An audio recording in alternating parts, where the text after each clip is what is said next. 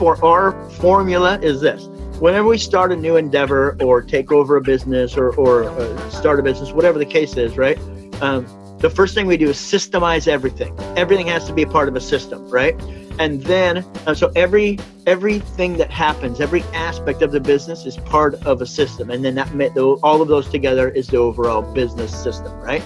Um, and so then I think uh, we automate as many of those systems as, as you possibly can. Automate them. Yep. Most of your marketing, for instance, can be automated. And then bring in specialists to run the systems that are not automated. Some things cannot be automated, um, right. like like personal coaching, for instance, that kind of stuff.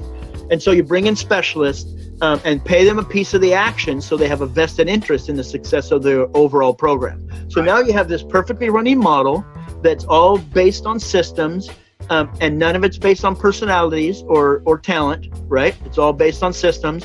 And here's the best part: none of it is dependent on you doing any of it. Right. And then if you've built that around you with something you're passionate about or something you like to do, then you can step into any of those systems and do the one the parts that you like to do.